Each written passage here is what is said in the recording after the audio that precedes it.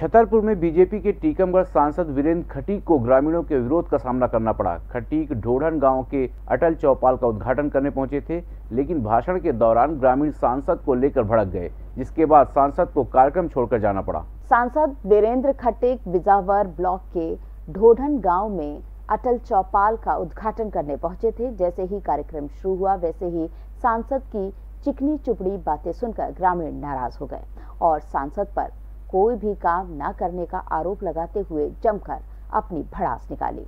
मामला बिगड़ता देख सांसद वीरेंद्र खटेक ने मौके से भागना ही मुनासिब समझा।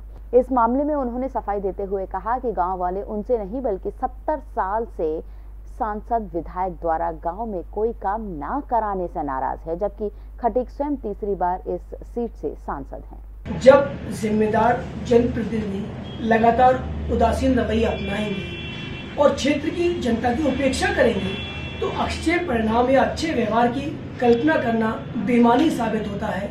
वे पिछले दस वर्षों से इस क्षेत्र के सांसद हैं, लेकिन क्षेत्र के प्रति उनकी ईमानदारी, उनकी ज़िम्मेदारी बहुत कोसों दूर है।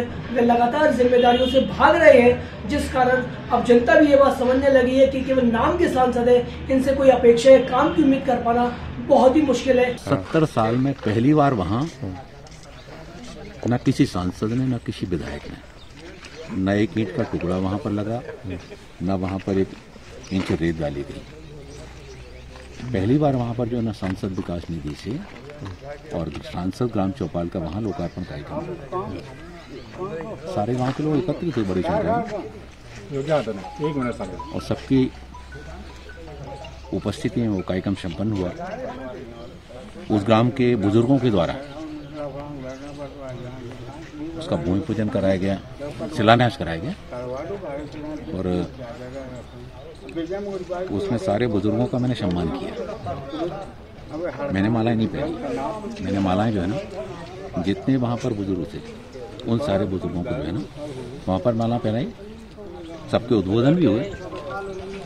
सरपंच जी का हुआ धीरेन्द्र नायक जी का हुआ। हमारा कार्यक्रम संबंध हुआ संगीत की स्वर लहरियों से सांस्कृतिक ताने बाने तक।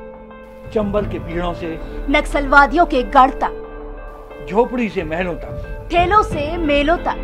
पगडंडियों से सड़कों तक। गाँव से शहरों तक। व्यापार से उद्योगों तक। राजनीति से कूटनीति तक। दखल न्यूज़। आपके हक